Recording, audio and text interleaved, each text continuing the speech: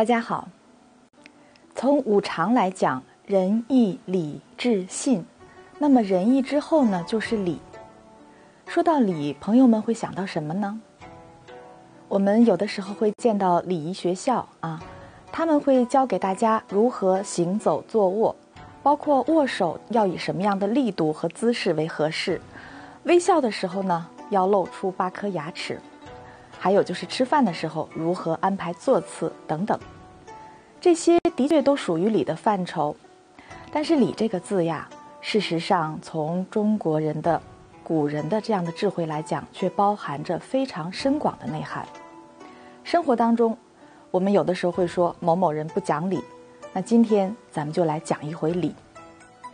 礼呢，从某种意义上来说，是区分人与动物的一个标志。《礼记》当中有这样一段话，说：“鹦鹉能言，不离飞鸟；猩猩能言，不离禽兽。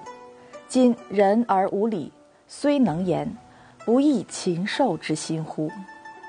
是故圣人作，为礼以教人，使人以有礼，知自别于禽兽。”《礼记》上还说呀：“凡人之所以为人者，礼义也。”礼呢？最早的时候，本来指的是周礼的礼节啊，是一些周礼的礼节和仪式。现在更多的指向社会的一些准则，还有人们普遍的一种道德规范。按照《左传》上的说法，礼是上下之际，天地之经纬也，民之所以生也。也就是说，礼呀，它是天地之间像经线和纬线这样的一种存在，可见它的重要性。礼的繁体字，啊，大家不妨试着写一写，怎么写呢？左边是一个“士”字，右边呢是“曲”，下面是“斗”。士字我们看它上面是个“二”，那表示的是上天的意思。下面这个类似于“川”的啊，有的时候看起来像小，那它表示的是像水一样流下。是总体上。就意味着上天有信息传下来。那曲下面加一个豆，组成的是祭祀的器皿。曲表示承接来物，所以《说文解字》上解释：象器屈受物之形，有虚心谦卑的意思。那豆就是古代盛食物的这个器皿。所以礼反映的是什么呢？它的本意就是对人。对事对物要有从内心发出的这种尊重，要有一种谦卑。礼作为礼仪，作为天道天理，自然法的礼其实是看不见的。那么作为规划体系的礼，也是一半可见一半不见的。所以还需要一套完全可见的仪式来体现、表达和强化。这套仪式就是我们经常说的礼仪。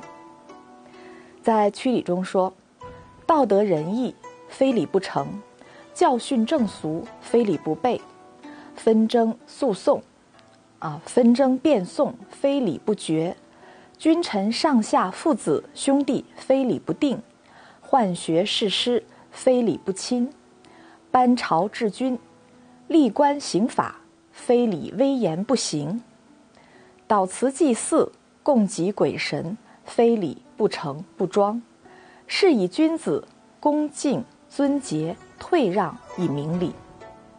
从这段话我们可以看到，礼的作用啊，真是方方面面无所不包的。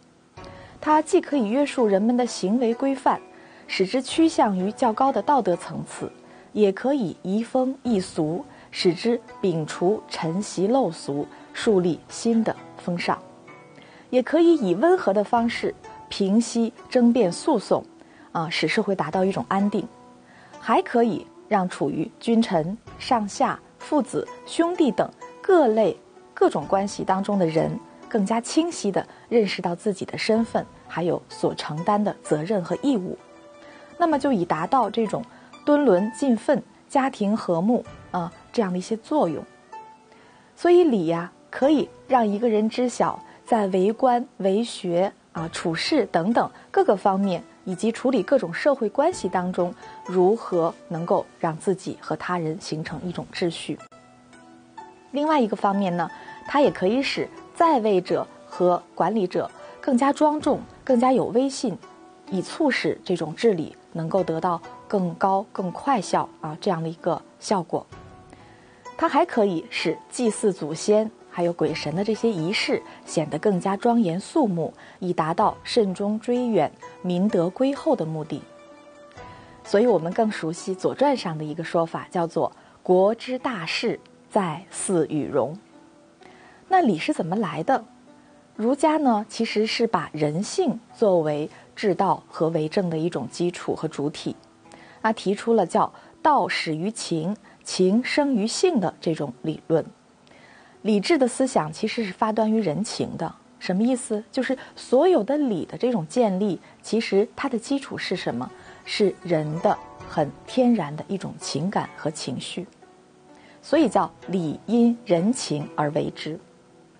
情是性的一种外显，那么性情相为表里，道始于情，就是始于性。所谓的人性啊，那在《礼记》上说。民有五性，叫喜、怒、欲、惧、忧也。楚简啊，《尊德义》上面说：“圣人之治民，民之道也；禹之行水，水之道也。”就是圣人管理老百姓呀，那靠的是什么呢？靠的是了解民的这种道。那大禹治水，他了解的是什么呢？是水的这种道，其实就是一种什么规律？那说，造父之御马，马之道也；后继之义地，地之道也。莫不有道焉，人道为尽。所以，我们看到儒家其实并没有将人的血统呀、地域啊，或者是种族的这些特征作为他治理的一个基础，而是将普遍的人性作为治世之道的基础。认为要建立和谐的社会秩序，就必须要顺应人性。有意思的是，从规则体系的这个角度啊，礼其实可以分成两类。一类呢叫礼法，在中国封建社会时代，礼法有着广泛的约束力，不仅是对于庶民，而且对君主啊，对于官员都有礼法的这样的一个约束。君若不君，诸侯可以叫什么？发兵征讨，以武力恢复礼的秩序。所谓就是凡君不道于其民，诸侯讨而执之，就是这句话。君臣关系呢，也是礼法关系。即使是贵为君主，若违背了礼法，臣也可以提起诉讼，可以自行解除这种君臣关系。所以我们知道啊，为什么孟夫子一直在讲叫从道不从君？显然，礼制其实是很接近我们现代法治精神的一种内涵的。另外一个方面，礼是什么呢？是礼俗。呃，礼俗就是我们习惯的一种生活方式，啊，社会自发的一种秩序。它不是君王所建立的，而是来自于传统习俗，来自于对人情常理的一种承认。也来自于圣贤对于自然法的一种发现。那英国政治学家叫埃德蒙·伯克，他说：“如果民间社会是习俗惯例的产物，那么习俗惯例便是它的法律。”儒家也有过类似的说法。南宋的理学家甄德秀说：“夫法令之必本人情，由正事之必因风俗也。”从这个角度来说，合宜的法律不是发明出来的，而是发现出来的啊。用儒家的话来说，就叫做因俗治理，则天垂法，即从习惯法和自然法当中去发现人间法。那用哈耶克的话来说，叫做法律先于立法。